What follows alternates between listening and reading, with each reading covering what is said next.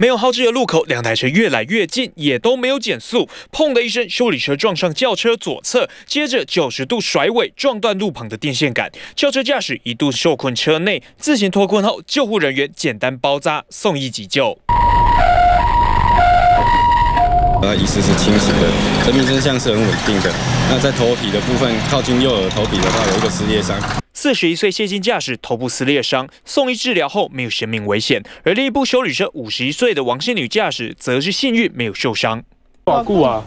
哇久啊！哇久啊！够一年？无啦，无啦。哦，够呀。这辆全新的国产修理车要价百万，才买不满一年就撞成这样，到底是怎么撞的？哦，它是一个无号志的路口，我们要通知相关单位来办理会勘，办理来改善。那两个啊，可能在啊赶上班。那详细的原因呢？那检方还在厘清中。